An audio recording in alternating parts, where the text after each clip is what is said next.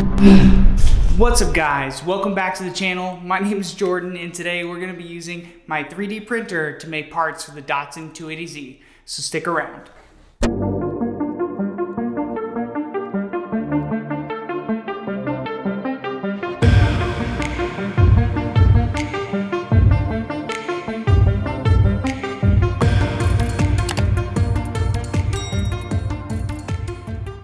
Alright guys, so sorry about that cringy intro. We're doing something a little bit nerdy on the computer today, so I figured a superhero entrance was only appropriate.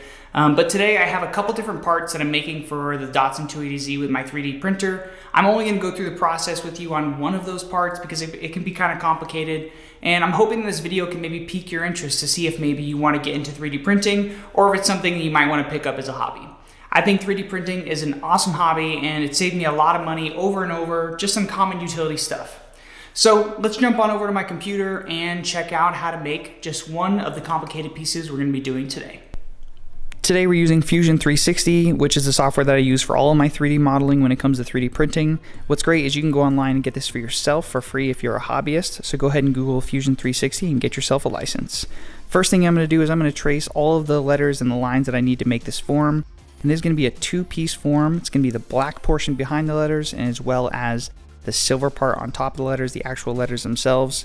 So you're going to see I'm going to trace all of the lines in this picture. Once I'm done tracing all the lines, I'm going to create some circles. And these circles are basically going to create a way for these two pieces to fit together. So it'll make a little bit more sense in a few seconds, but basically I'm going to make a couple smaller circles and a couple bigger circles across the entire model. Once I'm done with these circles, I'm going to going to start extruding the model. So basically I'm going to use these 2D drawings and start pulling them into 3D space. First, I'm going to pull out the black portion, which is the bottom portion of this logo. After that, I'm going to select my larger circles and make some holes inside the black portion. And this is going to create holes for these two pieces to fit together. Next, I'm going to work on the actual silver letters themselves. So I've pulled out the silver letters from that drawing and I've removed the, the, internal parts of the letters. After that, I'm going to reselect the smaller circles and pull out the posts that are going to fit into the sockets. And this is how our two-piece logo is going to fit together. Once you're done with the 3D model, you're going to go ahead and put your model into a slicer. I use a program called Cura. And basically what Cura does is it slices the 3D model so that the 3D printer knows what each layer of plastic is supposed to look like. And once you set up your settings, you can look at a preview and see all the lines. And then we're ready to put this in the printer.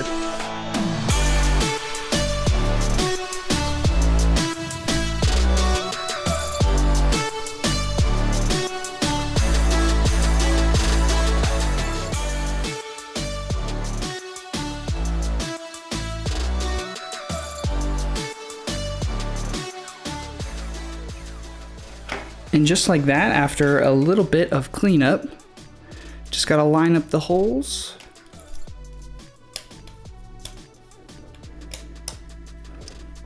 And there's our new logo. Turned out pretty good. Now that we've gone through the software and the printing side of things to make your own custom logo, the finished product turned out super, super awesome, and I am super excited with how this turned out you'd never be able to guess that it was made from a 3D printer. And what's great about this is that a regular logo costs about $75, and this cost me about $1 in an afternoon on a 3D printer. Um, so what I'm going to do is in the link in description, I'm going to put these designs on Thingiverse, and that way if you have a 3D printer, you can go ahead and just print them off and put them on your car. So super stoked on that. I hope it helps you guys out. And then the other thing that I worked on that I didn't show you before was this sun visor clip. So basically I have a sun visor that keeps falling down into my field of view. So I wanted to make a clip that I could remove if I wanted to, but this is going to be a sleeve that goes over the sun visor, and this is going to be a little clip that goes into the headliner, and this is going to clip into here, and it's going to help me keep the sun visor in place while I'm driving. So two great solutions, two great designs, and let's throw them on the car.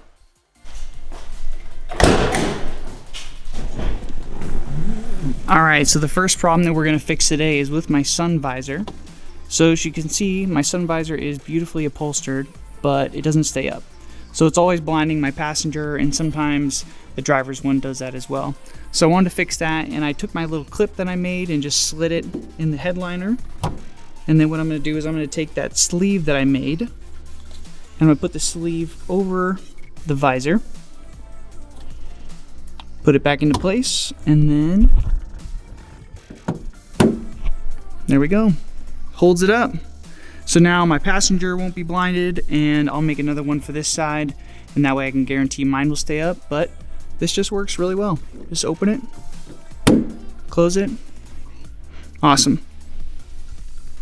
Now we'll take our logo, flip it upside down, and then I'm just gonna use some 3M double-sided sticky tape. So nothing special.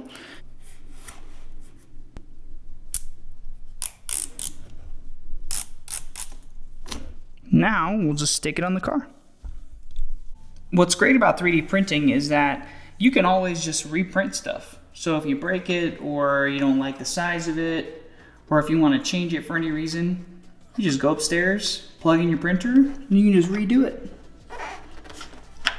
Nice and easy. I could have made this logo a little bit bigger if, um, because I have the bigger wing. With the bigger wing, this logo looks a little bit small, but I still think it looks good.